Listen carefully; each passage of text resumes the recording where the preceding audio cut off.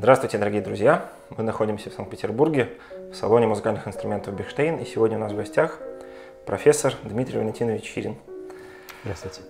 А, мы хотели бы сегодня пообщаться на тему а, использования фортепиано в учебном процессе, поскольку Дмитрий Валентинович, да, как мы знаем, э, преподаете в музыкальном вузе, в Университете культуры.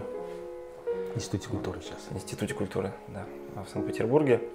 А, кроме того, являетесь заведующим кафедрой, да, то есть э, видите весь процесс обучения студентов по классу фортепиано. И в связи с этим вопрос, какова сегодня практика использования а, рояля Бихштейн в учебном процессе в вашем ВУЗе? Спасибо, Бихштейн. Э, замечательная марка, она мне очень нравится. И как раз вот в этом году у нас институт купил два новых концертных Бихштейна в камерный зал – пока мы еще не успели их в связи с эпидемиологическими мероприятиями как следует освоить, но тем не менее уже мы как бы играли на них и даже какие-то записи делали для концертов, для конкурсов. Очень приятно всегда под руками, очень хорошо звучит, поэтому большое спасибо эфирам Бигштейн и руководству нашему вузу, которые смогли приобрести для нашего учебного процесса такие замечательные инструменты. Э, в обычных рабочих аудиториях у нас э, оригинальных Бишштейнов, полноценных Бишштейнов нету, но зато есть и пианино Циммерман, и рояли Хоффман, и пианино Хоффман. То есть как будто эта вся линейка качественных, хороших европейских роялей в нашем ВУЗе представлены, ну, чему мы все очень рады. Ну, что касается именно э, использования инструментов, да, какая особенность есть, э, какая разница в требованиях между инструментом, который используются, допустим, в учебной аудитории и в концертном зале? Ну, для учебных аудиторий они должны быть более крепкие. Потому что все-таки концертный рояль, он должен быть более богатым, более ярким, более звучным, более благородным, более выразительным, более богатый обертона. Конечно, хотелось бы, чтобы в учебных классах тоже были э, хорошие инструменты. Но э, прежде всего, поскольку нагрузка на них очень большая в обычных аудиториях, то каким, не могу сказать, что требования ниже, но вот требования более доступного ремонта, э, более частой настройки, более, что называется, не только ладно скроено, но и крепко сшито они должны быть. Ну вот как будто, наверное, основные требования, которые позволяют играть и в четыре руки, и в камерных ансамблях, и аккомпанировать вокалистам, духовикам, струнникам, ну и, естественно, заниматься специальным фортепиано. Спасибо, да. А что касается концертных инструментов, которые стоят на сцене, в камерных залах, да, и в, уже используются в, в качестве экзаменационных, да, как я понимаю, да, концертных, да, да. А, есть ли какие-то особенности их использования в плане того, что вы как-то ограничиваете или как-то Мы их особо... бережем. Мы их бережем. Они у нас закрываются на ключ, и, в общем, ну, в нашем камерном зале не только пианисты, естественно, репетируют, там у нас много разных направлений, и народное песенное искусство, и академический хор, и народные инструменты, духовые инструменты, и инструменты эстрадного оркестра у нас есть. Но мы эм, стараемся беречь их в большей степени. Хотя у нас стоит хороший концертный бигштейн э, в театральном концертном зале, на котором играют в общем, все. Но наши фортепиано и бигштейны, ну, так мы их называем, все-таки мы стараемся к ним относиться с большим трепетом, нежностью и теплотой. Поэтому ну, хороший инструмент, уже играем на них, когда уже все готово, когда уже все выучено. То есть просто сидеть, выучивать репертуар на хорошем концертном бигштейне, это как-то не камильфо. Да, это понятно. Вы сказали по поводу пианино, да, что кроме роялей, также в учебных аудиториях используете и пианино, то есть вертикальные да, инструменты, да. Да, с вертикальным да. расположением струн. В чем отличие для пианиста все-таки? Нужно ли как-то приспосабливаться к инструменту? Ну, конечно, это другие акустические возможности, другие возможности педализации.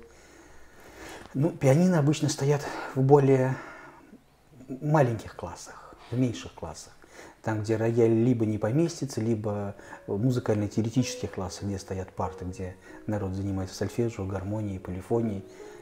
Хорошо, когда есть рояль, есть такая возможность, но если, как это часто бывает, рояля нет, то стоит хороший инструмент, хороший пианино. И этого, в принципе, вполне достаточно для такого ежедневного, обычного учебного процесса.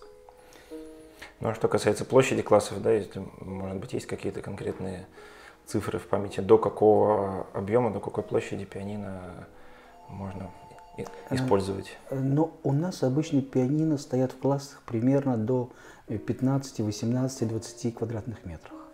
Если классы больше, то у нас стоят рояли. На кафедре, нашей кафедре, на фортепианной кафедре, у нас везде стоит по два рояля, либо в одном из классов у нас есть пианино и рояль, чтобы можно было и в четыре руки играть, и как-то так вот уже услышать себя в акустике, что всегда очень важно и очень интересно. Но, как говорил мой профессор Месягович Хальфин, у которого я учился в консерватории, и у которого, кстати, был первый Бигштейн, хороший, на котором я играл, то у него дома, он говорил, садишься за инструмент, самый плохой, играй на нем, как на самом лучшем Бигштейне. Это слова моего профессора. Замечательно. А что касается знакомства с инструментом, да, когда пианист выходит на сцену, зачастую получается, что времени на ознакомление, да, на привыкание практически нет. Либо это какая-то короткая репетиция и так далее. А что пианисту в этом случае делать?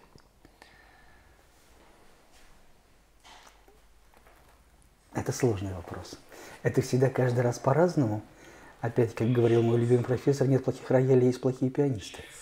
Вот. Ну, естественно, есть Бигштейн, а есть не Бигштейн.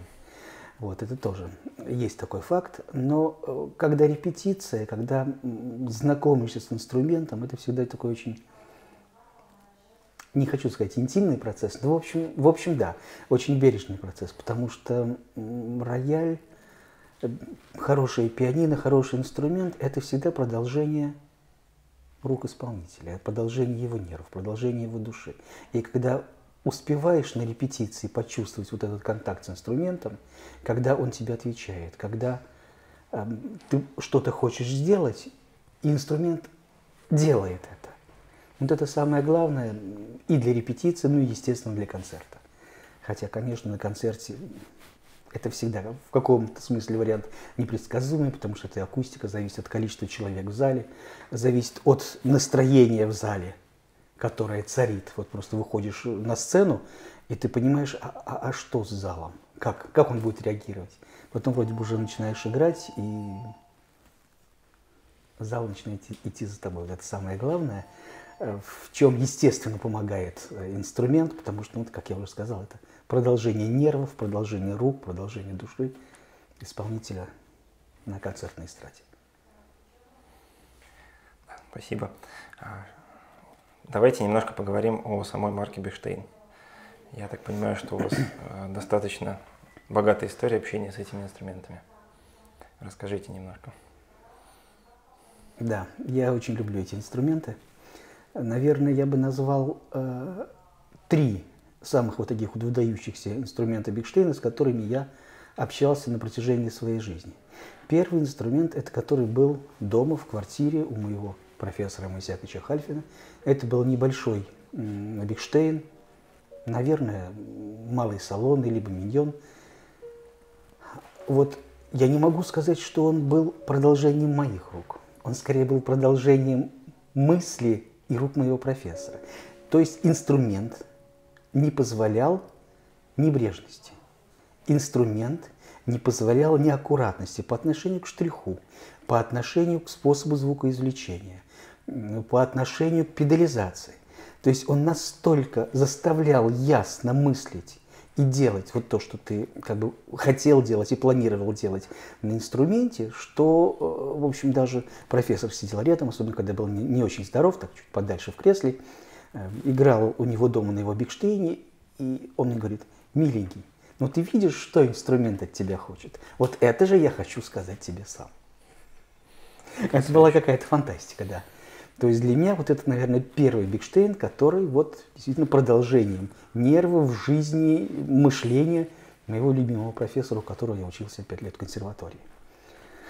Второй Бигштейн, который тоже остался в моей памяти, врезался, в мою жизнь.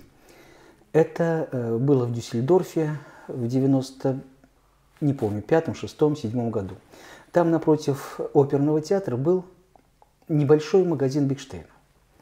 Это еще были давние времена, даже тогда еще были там не евро, а дойчмарки.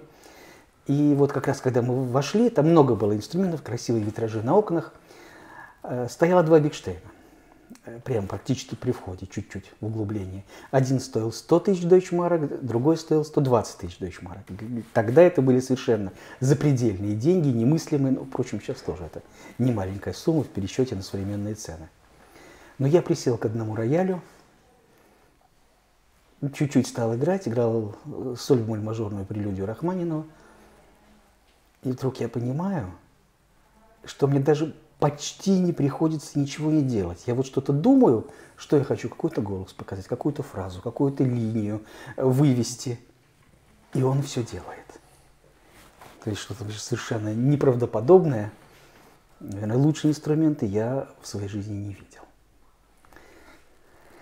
И э, третий инструмент, который также был очень приятен, это, но это даже не Бигштейн, это Хоффман, который стоит у нас в Белом зале, в Институте культуры.